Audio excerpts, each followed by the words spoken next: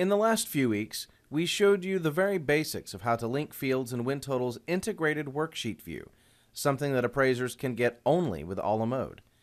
Today we'll use linked fields again, but we'll expand on the formula aspect of the worksheet and use a mathematical algebraic equation. For this example, let's say that I want my final value to be represented 80% by the value of the sales comparison approach and 20% by the cost approach. I'll start by linking down my two fields. First, I'll label the cells above where I'm going to put the data.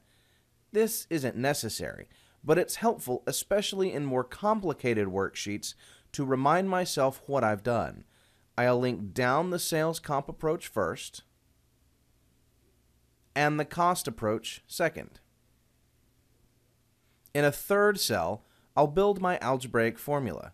It's 80% of the sales comparable approach plus 20% of the cost approach. Worksheets use the standard mathematical order of operations, so separating the components with parentheses isn't necessary. It's just helpful. I'll put in the first term. 80% of the cost approach is 0.8 times A2, which is the linked field from the form. Now I'll add to that my second term, which is 20% of B2.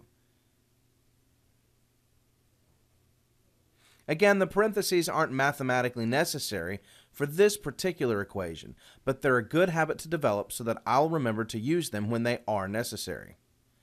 Now all that's lacking is to link the cell with the equation back into the form. Notice how the spreadsheet and the final value are now dynamic. For instance, if I update the grid and change the sales comparison value, both the worksheet and the final value change accordingly. Don't forget to save your worksheet for later use. And again, take some time over the next few weeks to try out this function with your own workflow and examples. See you next week.